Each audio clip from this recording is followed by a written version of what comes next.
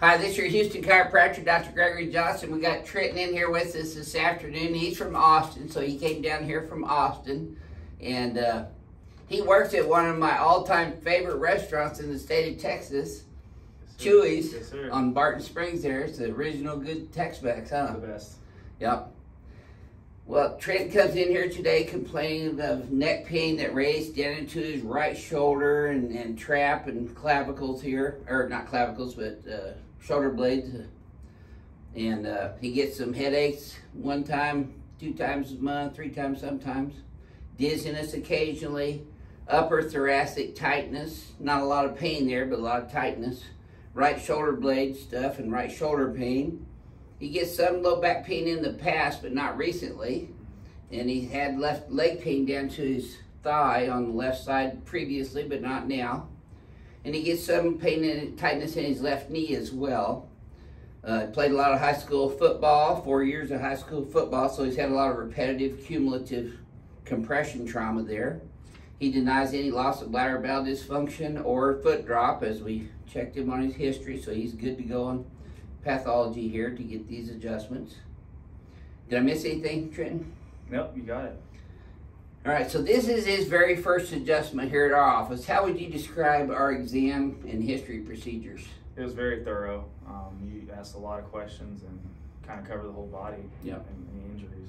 Know, we don't mess around here with people's health. No. That's good. Okay, so first adjustment, we're gonna put you face down again, then, Trenton. Okay. I'm gonna start off adjusting your sacrum on that left side.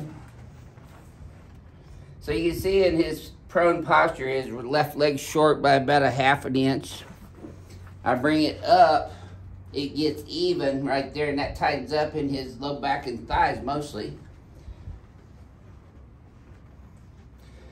Palpation, he's got a posterior left sacrum. Now, when we did the sacral deviation test, I'm gonna have you lock this straight again, Trent, and lift that whole right leg up. So that tightens up in his back up here a little bit, doesn't cause any restriction down here. Let that one go. Now do this left side. Now see, this one doesn't come up as far, and that was a little tighter, you said, in your thigh, right? Yep, right there. Yep. You boy, that quad was like a rock when I touched that. He's got paraspinal hypertonicity on this right side of his lumbar spine. It's starting in the lower thoracics. But a lot of that's compensatory to his sacrum being deviated on the left, so you get counter uh, counter rotation in the lumbar spine. He's got several thoracic spine vertebrae subluxated along with the rib heads where they attach. His neck's out in about three spots here. C5, C6 on the right, C3, 4 on the right, a little bit C2 even. So I'm going to adjust his left sacrum first.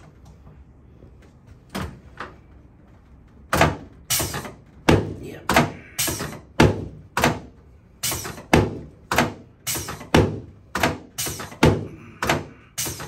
Just both his SI joints, sacrum left, right, center.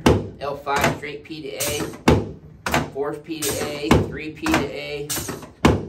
L2 and L1 P to A with a little IDS drive. A nice deep breath for me. Mhm. Yes, sir.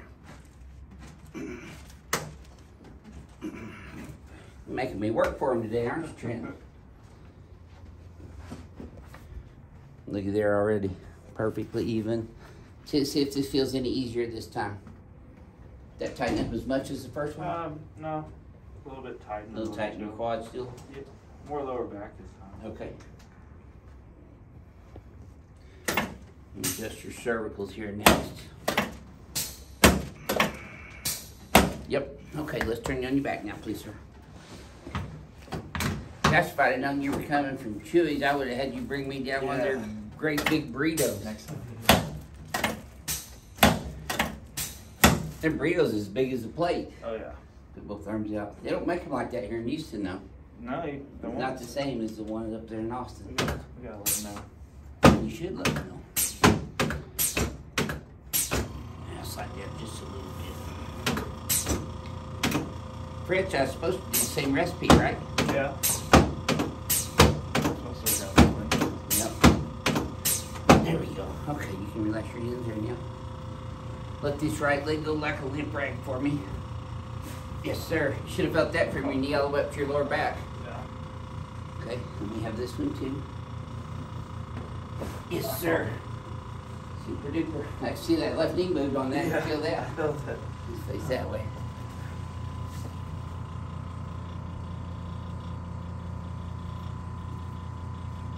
There we go. Ooh, you got some crepitus in this left one as well. Mm-hmm. It's not as bad though. Yep, elbow.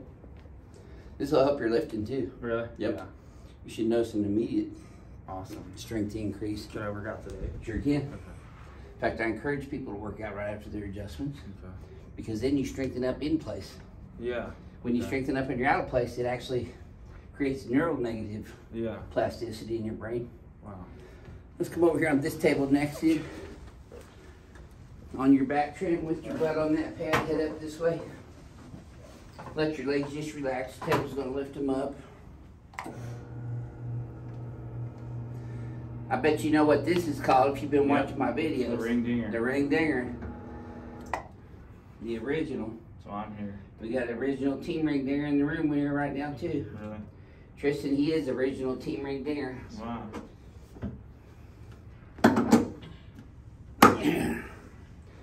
We still have to call him Tristan because he hadn't got his Texas license in the mail yet. Hmm. okay, you want to keep your teeth together on this one, Trenton. Don't bite your tongue. Breathe through your nose. Yes, sir. Now you should have felt that though, all the way down your spine. Did you, Trenton? Yeah. Take Deep a breath. deep breath in through your nose, out through your mouth. You feel better when it quits hurting. There you go. Ooh, boy. Remember girth on that, that should help that right shoulder pain. Uh huh. You're going to be sore for about 72 hours after this first adjustment. That's pretty common. Okay. Don't get freaked out when you get sore. Just put crushed ice in a freezer baggie right on the skin for 20 minutes over the sore spot. Okay. Don't put heat on this ever. Let me help you up sideways. You always want to bring your legs over. See, get up sideways like that. When you sit straight up, you put your spine in flexion. Mm-hmm. The bird will move backwards and they'll pinch on the nerves quicker.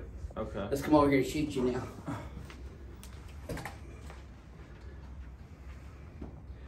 So look at you standing up like a military Wow. man. You see Yeah. the difference? Definitely. See how your shoulders squared off? Without trying. Yeah. That's the cool thing about it. Not only can you feel the difference, you can visibly see the difference. Yeah. You still have a few sore spots in here. Mm-hmm. All right, I'm going to show you your homework. Okay. Your head's forward, pulling your shoulders forward. So first thing, pull these shoulders up and back with your rhomboids back. Yep. And your head's forward Z. So we go negative Z, and then look backwards at the wall behind you. Negative theta X cervical. Hit your atlas on both sides to retrain your brain how to hold you in this new mirror image. Okay. Okay, relax. When you go forward, backwards again, this time it should feel a little bit easier, Trent, but you tell me. Yep. That feels smoother? Oh yeah. It goes right back. Yes, sir. Move your shoulder around, see how that feels now. Oh yeah.